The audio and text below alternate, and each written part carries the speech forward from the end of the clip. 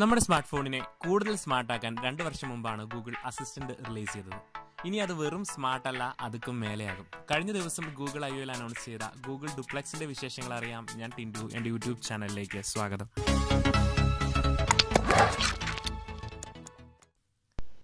ഓരോ തവണയും നമ്മളെ ഞെട്ടിക്കുന്ന ഗൂഗിൾ ഇത്തവണ വന്നതൊരു കിടിലൻ ഫീച്ചറുമായിട്ടാണ് നമുക്ക് വേണ്ടി ഇനി ഗൂഗിൾ അസിസ്റ്റന്റ് ഫോൺ കോളും ചെയ്യും. ഗൂഗിൾ അസിസ്റ്റന്റ് വളരെ പെട്ടെന്നാണ് number one smart phone assistant ആയിട്ട് മാറിയത്.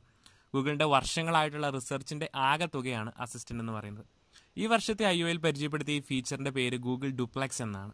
ഇതിന്റെ ഡെമോ എന്ന് പറയുന്നത് എല്ലാവരും അത്ഭുതപ്പെടുത്തുന്ന ഒരു സംഭവമായിരുന്നു. അക്ഷരാർത്ഥത്തിൽ അവിടെ കൂടിയ ഏഴായിരം ആളുകളും ഞെട്ടിപ്പോയിട്ടുണ്ടാകും. അതുപോലത്തെ ഒരു ഡെമോയാണ് അവർ കാണിച്ചത്.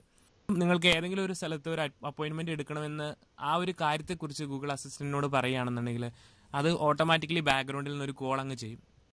സ്വാഭാവികമായിട്ടും അപ്പുറത്തെ സൈഡിൽ ആരെങ്കിലും ഫോൺ എടുക്കും. ഏതെങ്കിലും ഒരു മനുഷ്യനായിരിക്കും ഫോൺ എടുക്കുക. ഈ മനുഷ്യനോട് നമ്മുടെ റിക്വയർമെന്റും നമ്മുടെ സമയവും കാര്യങ്ങളൊക്കെ വെച്ചിട്ട് അങ്ങോട്ട് ചോദിച്ച് മനസ്സിലാക്കിയിട്ട് നമുക്ക് വേണ്ടി ആ ബുക്കിംഗ് നടത്തും. പത്തിനും പന്ത്രണ്ടിനും ഇടയ്ക്കാണ് നമുക്ക് ഒരു ബുക്കിംഗ് വേണ്ടതെന്നുണ്ടെങ്കിൽ ആ ടൈമിൽ അങ്ങനെ ഒരു സീറ്റ് അവിടെ അലോട്ടഡ് ആണോ എന്നുള്ള കാര്യമൊക്കെ ചോദിച്ച് വെരിഫൈ ചെയ്ത് നമ്മുടെ സമയവും സന്ദർഭമൊക്കെ നോക്കിയിട്ട് ആ പർട്ടിക്കുലർ അപ്പോയിന്റ്മെന്റ് ബുക്ക് ചെയ്ത് തരികയാണ് ചെയ്യുന്നത്. ഇവിടെ എന്താ സംഭവിക്കാന്ന് വെച്ചാൽ ഗൂഗിൾ അസിസ്റ്റന്റ് നമുക്ക് വേണ്ടി ഒരു മനുഷ്യനെ പോലെ മറ്റൊരു മനുഷ്യനോട് സംസാരിക്കുന്നു എന്നുള്ളതാണ്. എന്തായാലും നമുക്ക് ആ ഡെമോ എന്ന് കണ്ടു നോക്കാം. Say you want to ask Google to make you a haircut appointment on Tuesday between 10 and noon.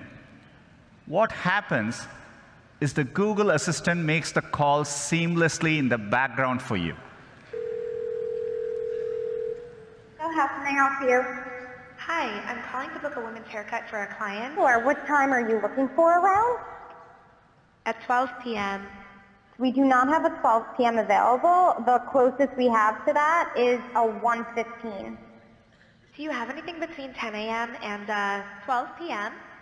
Depending on what service she would like. What service is she looking for? Just a woman's haircut for now? Okay, we have a 10 o'clock. 10 a.m. is fine. Okay, what's her first name? The first name is Lisa. Okay, perfect. So I will see Lisa at 10 o'clock on May 3rd. Okay, great. Thanks. Great. Have a great day. Bye. That was a real call you just heard. The amazing thing is the assistant can actually understand the nuances of conversation. ഈ കണ്ട ഡെമോയിൽ ഒരറ്റത്ത് Google അസിസ്റ്റന്റും മറ്റേ അറ്റത്ത് ശരിക്കും ഒരു മനുഷ്യനുമാണ് ശരിക്കും ഒരു മനുഷ്യൻ response കൊടുക്കുന്ന പോലെ അല്ലെങ്കിൽ ഒരു മനുഷ്യൻ പറയുന്ന പോലെയൊക്കെ ആണ് ഈ ഗൂഗിൾ അസിസ്റ്റന്റ് മറുപടി കൊടുക്കുന്നത്. ഇത് ഈ പറയുന്ന പോലെ എളുപ്പമുള്ള ഒരു കാര്യമൊന്നുമല്ല. ഒരുപാട് വർഷങ്ങളായിട്ട് കഷ്ടപ്പെട്ടുണ്ടാക്കിയ റിസർച്ചിന്റെ ഫലമായിട്ടാണ് ഇത്തരം കാര്യങ്ങളൊക്കെ ചെയ്യുന്നത്.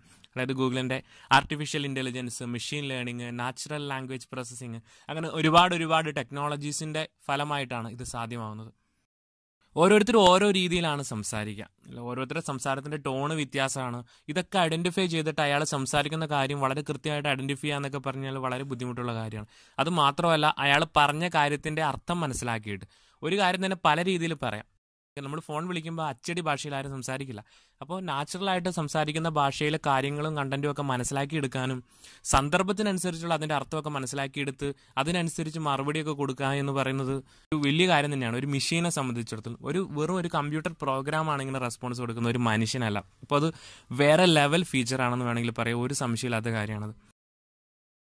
എന്തായാലും ഗൂഗിൾ അസിസ്റ്റന്റിന്റെ സ്പീക്കിംഗ് കൂടുതൽ നാച്ചുറൽ ആവുകയാണ്. നമുക്ക് ഈ ഡെമോ കാണുമ്പോൾ മനസ്സിലാക്കാൻ പറ്റും. ശരിക്കും ഒരു ഇംഗ്ലീഷ് നേറ്റീവ് സ്പീക്കർ എങ്ങനെ സംസാരിക്കുന്നു എന്നുള്ള അതുപോലെയാണ് സംസാരിക്കുന്നത് അതായത് എവിടെയൊക്കെ കറക്റ്റായിട്ട് നിർത്തുന്നു അത് കറക്റ്റ് ചെറിയ മൂളലുകൾ പോലും നമ്മൾ കൊടുക്കുന്ന മറുപടികൾക്ക് കൊടുക്കുന്ന ചെറിയ മൂളലുകൾ പോലും വളരെ നാച്ചുറലായിട്ട് ഫീൽ ചെയ്യുന്ന രീതിയിലാണ്. ശരിക്കും പറഞ്ഞാൽ ഓപ്പോസിറ്റ് സൈഡിൽ ഇരിക്കുന്ന ആൾക്ക് ഒരു മെഷീനോടാണ് താൻ സംസാരിക്കുന്നത് എന്നുള്ള കാര്യം പോലും നമുക്ക് തോന്നില്ലാത്ത രീതിയിലാണ് ഇവിടെ സംസാരിക്കുന്നത്. നമുക്കറിയാം പണ്ടൊക്കെ മെഷീൻ റോബോട്ടിക് സൗണ്ട് ആയിരുന്നു. അതായത് ഇങ്ങനെയായിരുന്നു പണ്ട് റോബോട്ട് സംസാരിച്ചുകൊണ്ടിരുന്നത്? പക്ഷെ ഇപ്പൊ ഇത് റോബോട്ടിന്റെ സൗണ്ട് മാറിയിട്ട് യഥാർത്ഥത്തിൽ ഒരു മനുഷ്യൻ സംസാരിക്കുന്ന പോലെയുള്ള രീതിയിലേക്കാണ് അതിന്റെ വോയിസ് മോഡുലേഷനും കാര്യങ്ങളൊക്കെ വന്നുകൊണ്ടിരിക്കുന്നത്. നമ്മുടെ മലയാള ലാംഗ്വേജിൽ അവൈലബിൾ ആവാനായിട്ടുള്ള ചാൻസ് കുറവാണ്. പക്ഷേ ഇൻ ഫ്യൂച്ചറിൽ മലയാളത്തിൽ വന്നുകൂടാ എന്ന് നമുക്ക് പറയാനും പറ്റില്ല. ഇതൊരു ഫിനിഷ്ഡ് പ്രൊഡക്റ്റ് അല്ല. ഗൂഗിൾ ഒരു എക്സ്പെരിമെന്റ് പോലെയാണ് ഇത് ചെയ്യുന്നത്. പക്ഷേ ഇതുപോലെ എക്സ്പെരിമെന്റ് ആയിട്ട് കൊണ്ടുവന്ന പല ഫീച്ചറും പിന്നീട് ഗൂഗിൾ റിലീസ് ചെയ്തിട്ടുണ്ട്. ചിലത് ഡ്രോപ്പ് ചെയ്തിട്ടുണ്ട്. എന്തായാലും ഇത് റിലീസ് ചെയ്യുമെന്ന് നമുക്ക് വിചാരിക്കാം. നമ്മുടെ ഫോണിലൊക്കെ ഇൻസ്റ്റാൾ ചെയ്ത് ഉപയോഗിക്കാൻ പാകത്തിനത് ഗൂഗിൾ അസിസ്റ്റന്റ് കൂട്ടത്തിൽ വരുമെന്ന് നമുക്ക് പ്രതീക്ഷിക്കാം. എന്തായാലും ടെക്നോളജി കൊണ്ട് നല്ല കാര്യങ്ങൾ സംഭവിക്കുന്നു. ഈ വീഡിയോ നിങ്ങൾക്ക് ഉപകാരപ്പെട്ടുവെങ്കിൽ ലൈക്ക് ചെയ്യുക.